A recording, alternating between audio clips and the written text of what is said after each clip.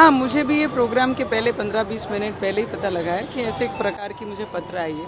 पर ये बहुत ज़्यादा रिलेट रखता है क्योंकि उन्होंने स्पष्ट लिखा है कि वो एक गवर्नमेंट सर्वेंट है। और उनको मैंने बदली करके अमरावती भी लाया है।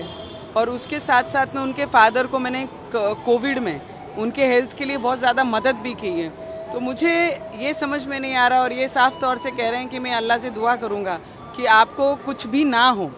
तो अभी ये तो एफआईआर करने के बाद इन्वेस्टिगेशन करने के बाद पता लगेगा कि वो मेरे हित चिंतक हैं या वो ही मुझे धमकी दे रहे हैं। तो अभी ये तो इंक्वायरी के बाद, पर ये सब चीज़ें तब होती है जब कोले प्रकरण हमारे अमरावती में होता है, जब राइट्स हमारे हिंदू मुस्लिम के अमरावती में होते हैं। और उसके बीच में जब मेरी आवाज़ में दबने नहीं देती हूँ और यहाँ से दिल्ली तक, कोले जी का जो मर्डर हुआ उसको प्रकरण वहाँ लेके गई, अमित शाह जी तक पहुँचाया। उसके बाद मैंने एनआईए को डिमांड की कि इसकी इन्वेस्टिगेशन आपके ज़रिए होना चाहिए।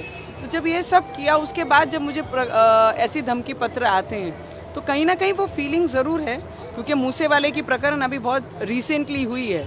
तो मुझे लगता है एक मन का, दिल का कोना है, जो ये कहता है शायद ये सब चीज़ों से रिलेटेड है। पर एक चीज़ मैं ज़रूर बताना चाहूँगी जिन्होंने ये पत्र भेजा है जिनको भी लगता है कि नवनीत राणा ये धमकियों से चुप हो जाएगी। नहीं नवनीत राणा तिरंगे के लिए लड़ने वाली है और उसकी आवाज़ ये भारत के तिरंगे के लिए है।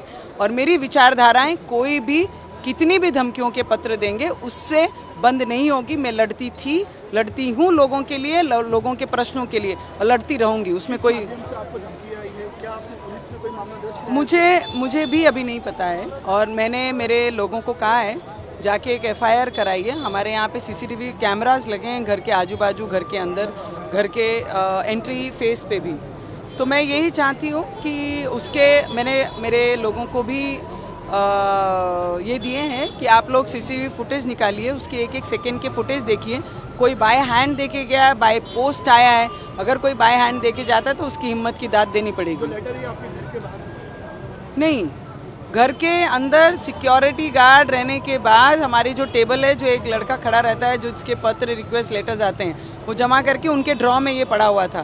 तो अभी वही मैंने पता करने लगा है सी फुटेज और एफआईआर भी करने लगाई है अमरावती में, अमरावती के घर में और आज मुझे मिला है पत्र तो अभी इसके बाद इंक्वायरी की मैं डिमांड ज़रूर करूँगी कि इस पर इंक्वायरी लगनी चाहिए। इंक्वायरी लगने के बाद जो भी ऐसा थ्रेट लेटर देते हैं उसके ऊपर कार्रवाई होनी चाहिए पर नवनीत राणा डरेगी नहीं सर।